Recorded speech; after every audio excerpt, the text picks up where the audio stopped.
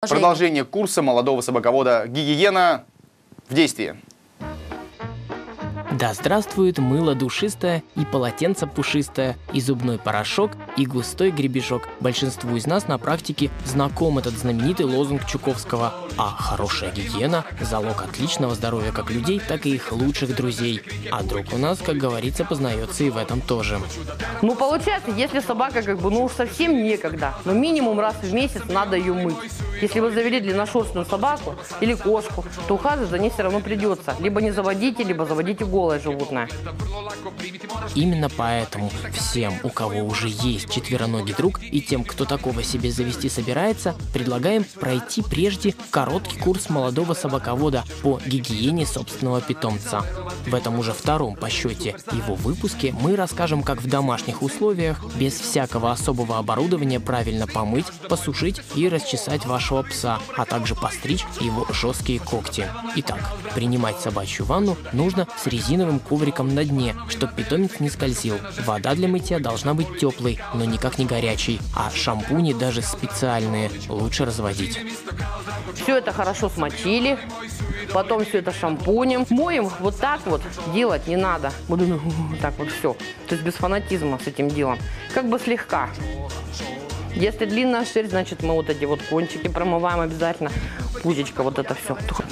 Помыли, значит кондиционер тоже разводится, поливается. Ну вот у джойстиков как бы это борода, чтобы хорошо росла, значит шерсть на них. Это вот, то есть украшающий волос. Лапы лохматые. На спине он не нужен, на спине должна быть у них жесткая шерсть как бы по стандарту, поэтому там кондиционер не нужен. Подержали кондиционер, смыли хорошо все, берем полотенце. Сушим собачью шерсть исключительно плавными промакивающими движениями. По завершении этой процедуры берете в руки фен и начинаете активно обдувать пса, при этом расчесывая его для того, чтобы шерсть легла в нужном направлении. И помните, что недостаточно промытая и просушенная собака рискует обзавестись неприятным запахом, перхотью и кожными заболеваниями. Поэтому как минимум раз в месяц мыть и сушить питомца нужно со всей ответственностью. Обязательно возьмите на вооружение нехитрый способ по защите ушек своей собаки от попадания в них воды. Делаем из ватки тампончик. Ну или из диска ватного, это как бы уже мелочи. Что такое? Что? Хочешь кушать? Ну, примерно вот так его сворачиваем. Обычным растительным маслом пропитали, то есть он масляный становится. То есть влагоотталкивающий. И вот так вот сюда закладываем его. Не туда прям глубоко. Он может даже вот чуть-чуть торчать вот здесь. Помыли, удалили его. Если все-таки попало, ну, тем же самым, только сухим.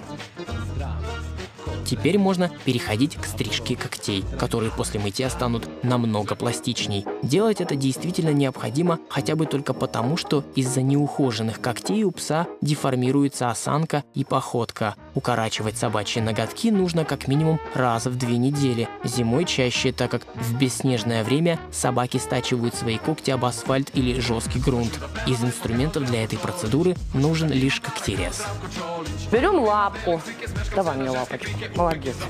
Но мне вот, например, у больших удобнее вот так. То есть у него-то вот сейчас нет как бы когтей, подушки вот. Вот. И вот пошла. Не забываем про боковой пальчик. Многие забывают, он потом впивается, собаке больно. Прямо по чуть-чуть. Вот для этого как бы, так как у них там вот эти вот кровеносные капилляры, то есть чем чаще стрижете, тем они, эти капилляры, меньше прорастают. То есть если собаке делать раз в полгода, у него вот такие когти, там уже все это кровеносный сосуд, и начинается оттуда, начинаешь подстригать, укорачивать кровища. Марганцовка прижигаешь. И напоследок полезный совет от опытных заводчиков. Приучать своего питомца к гигиеническим процедурам следует с самого раннего детства на лакомство и хозяйский авторитет. Не надо заваливать собаку всей семьей с криками и скандалами. От этого, поверьте, ни у вас, ни у пса не останется позитивных воспоминаний от такого приятного слова, как чистота.